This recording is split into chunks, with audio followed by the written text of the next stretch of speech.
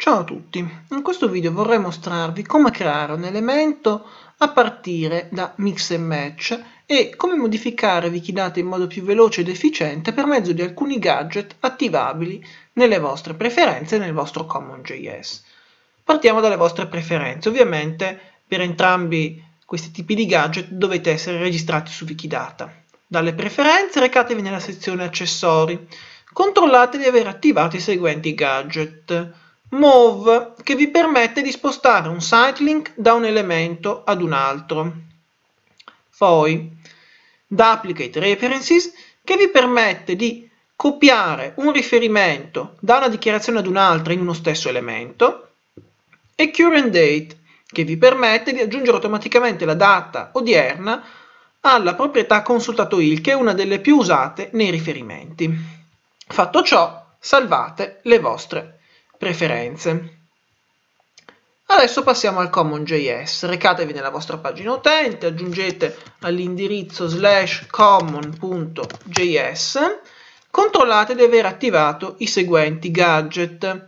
Il mix and match gadget di cui avevamo già parlato la volta scorsa, il gadget duplicate item che vi permette di creare una copia di un elemento, può essere utile se ad esempio dovete creare due o tre elementi molto simili tra loro, il gadget moveClaim che vi permette di spostare una dichiarazione da un elemento ad un altro oppure di copiarla. Sono tutti molto facili da usare e facilitano di molto il vostro lavoro. Fatto ciò, salvate il vostro CommonJS. Bene, ora possiamo passare ad un esempio pratico. Cerchiamo ora un elemento da creare su Mix and Match. Cerchiamo un catalogo e vediamo all'interno di questo catalogo quali siano i nomi ancora non abbinati che siano presenti nel maggior numero di altri cataloghi su Mix and Match. E vediamo ora il primo risultato. Abbiamo 9 elementi su mix and match che presentano il nome Salvatore Abruzzese. E come potete vedere dalle informazioni di questi cataloghi abbiamo su Wikidata un unico elemento Salvatore Abruzzese dedicato a una persona nata nel 1950. Di conseguenza tutti gli abbinamenti con persone nate nel 54 sono scorretti e vanno rimossi. Quindi rimuoviamo innanzitutto gli abbinamenti errati che erano questi due. Questo come vedete è un abbinamento manuale e corretto. Vediamo questi abbinamenti, gli altri, questi tre, 1, 2 e 3 se siano corretti o meno. Qui è difficile stabilirlo perché vedete non ci sono libri, ma verosimilmente è un abbinamento scorretto. Questo è senza dubbio un abbinamento scorretto e anche questo è un abbinamento scorretto e quindi rimuoviamo tutti e tre questi abbinamenti. È evidente che a parte quest'unico identificativo abbinato manualmente, tutti gli altri identificativi gli altri sette identificativi siano da abbinare ad un nuovo elemento. Allora usiamo il tasto Toggle Checkboxes che ci permette di indicare che tutti questi sette identificativi dovranno entrare nel nuovo elemento e creiamo l'elemento con questo tasto. Ora attendiamo che l'elemento si crei.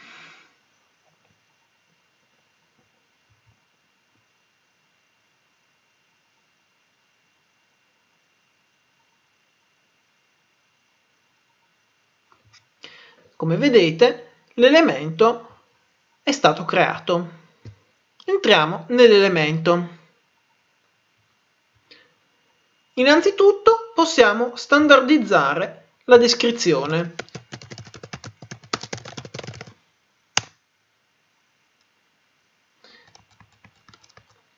Dopo ciò ricarichiamo l'elemento.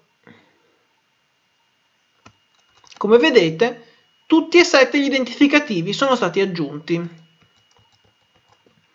Abbiamo anche due diverse date di nascita, una più precisa e una meno precisa. Quella meno precisa si può, in questi casi, rimuovere.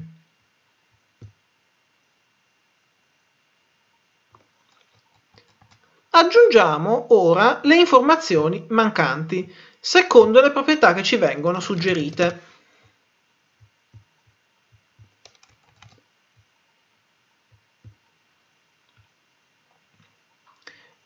L'occupazione abbiamo un riferimento che è SBN. Come inserire questo riferimento? Copiamo l'identificativo SBN, lo possiamo fare o aprendo la pagina e, copi e copiandolo da qua oppure copiandolo dall'elemento. Questo è l'identificativo.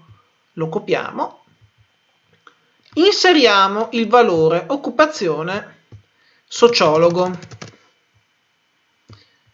aggiungiamo riferimento. La prima proprietà che si mette è la fonte del riferimento, la, la fonte dell'affermazione, che in questo caso è SBN, Servizio Bibliotecario Nazionale.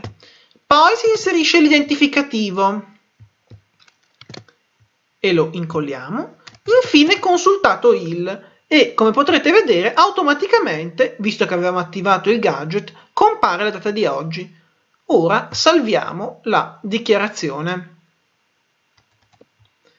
Poi inseriamo il paese di cittadinanza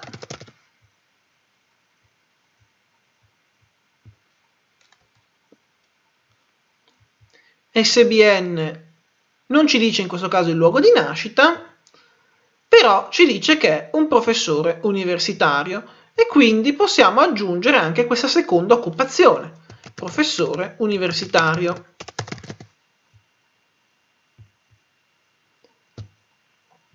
A questo punto, se ricarichiamo la pagina, vedrete comparire a fianco al riferimento che avevamo aggiunto un tasto copia che corrisponde al gadget Duplicate References che avevamo attivato.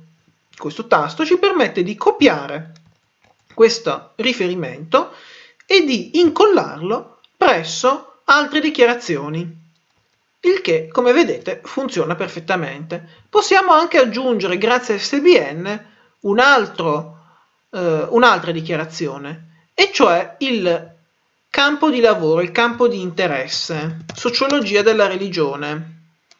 Campo di lavoro,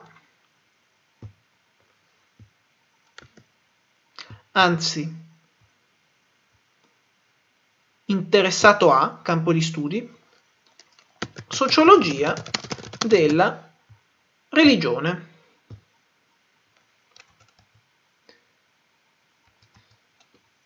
Come potete vedere, appena aggiunta la eh, dichiarazione non permette l'uso del gadget Duplicate References, quindi potete ricaricare la pagina e successivamente copiare il riferimento e incollarlo su questa nuova dichiarazione.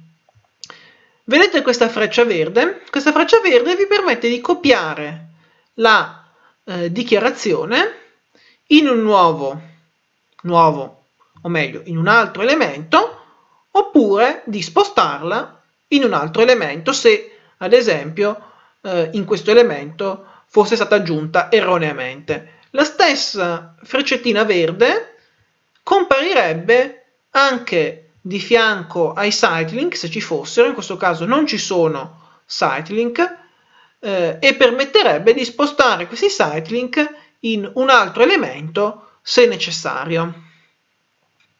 A questo punto possiamo ancora aggiungere la dichiarazione relativa alle al prenome, Salvatore, possiamo aggiungere la dichiarazione relativa al cognome, abruzzese, le, queste dichiarazioni relative a prenome e cognome non richiedono riferimenti e possiamo aggiungere la dichiarazione relativa alle lingue parlate o scritte italiano e alle lingue di scrittura che sarà sempre italiano. Anche questa dichiarazione non richiede strettamente un riferimento, comunque basta entrare nel VIAF per verificare che le opere scritte siano in italiano. E quindi a questo punto possiamo ulteriormente aggiornare l'elemento per vedere tutte le dichiarazioni messe in fila a partire da istanza D scendendo fino al campo di interesse e poi tutti gli identificativi. Come vedete questo elemento è completo e se volessimo duplicarlo abbiamo questo tasto duplicate this item che permette di duplicare nella sua interezza l'elemento. Ovviamente duplicare un elemento significa poi duplicare non solo le dichiarazioni ma anche gli identificativi e quindi conviene sempre duplicare un elemento che sia molto simile al nuovo elemento che vogliamo creare, altrimenti si rischia di perdere più tempo nella rimozione degli identificativi e delle dichiarazioni non pertinenti e quindi di vanificare il vantaggio. Se invece si stanno creando due elementi magari con poche dichiarazioni molto simili tra loro, duplicare un elemento può essere molto conveniente. E con questo, alla prossima settimana.